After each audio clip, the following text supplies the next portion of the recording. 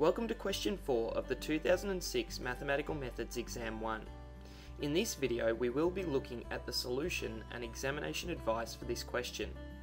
A reminder that this video is in no way endorsed by VCAA. For question 4 we have the function f with a domain of negative pi to pi both included with a rule f of x equals 5 cos of 2x plus pi on 3. For part A, we're asked to write down the amplitude and period for the function. So for the amplitude, we need to inspect this value here. And the amplitude is simply that value, ignoring the sign if it's negative. So for this, we have that the amplitude is equal to 5. The period can be found by looking at this value here, which we might call n, so n equals 2.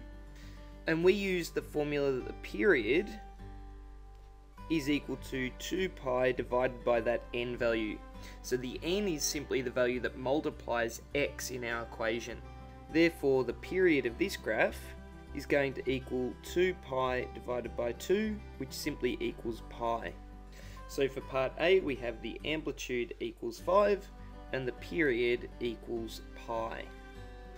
From the examiner's report, we can see around 80% of students received full marks for this question and the comment was that it was handled very well, which was expected of students at this level. The most common error was stating that the period was 2 pi rather than pi. For part B, we're asked to sketch the graph of the function f on the set of axes below. Label axes intercepts with coordinates, and label endpoints of the graph with coordinates as well. To start with, we're going to find the y-intercept of this graph, which is done by letting x equals 0 in the equation. Therefore, y is equal to 5 cos of 2 bracket 0 plus pi on 3. So therefore, y is equal to 5 times cos of 2 pi on 3. And we know the exact value for cos of 2 pi on 3 is negative a half. So this gives negative 5 on 2 as the y-intercept. So we can now put that point on the graph.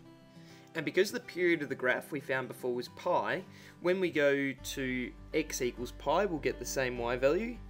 And when we go to x equals negative pi, we'll also have the same y value. And because the domain has square brackets for our endpoints, these dots need to be coloured in. Next, we need to find the x-intercepts of the graph, and they occur when y equals 0 in the rule. Therefore, we want to solve the equation 5 cos of 2 x plus pi on 3 is equal to 0.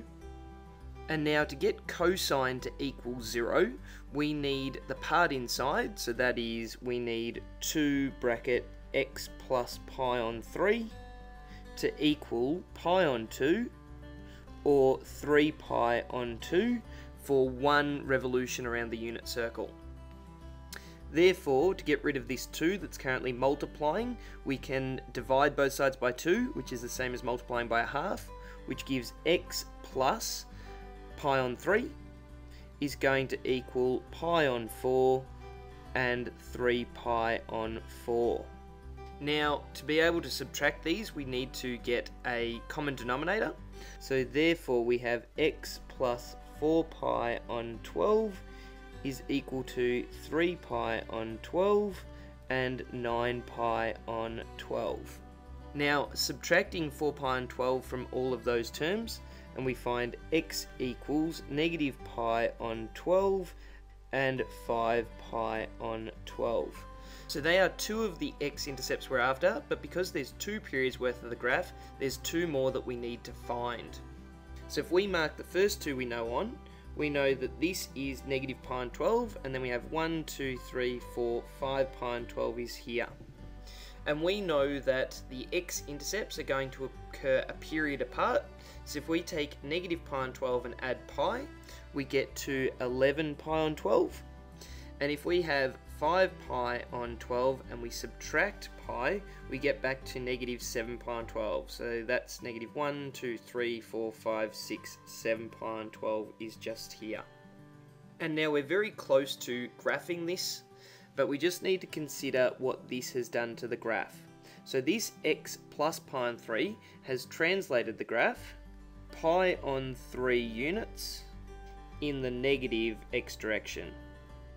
So that is, it's going to send the graph this way. So where there would have been a maximum value at 0, 5, it, it's now going to be pi on 3 in this direction. So if our maximum value is here, we're going to have a minimum value down here at negative 5. We're also going to have a minimum value down here and another maximum value up here just to help when we sketch the graph.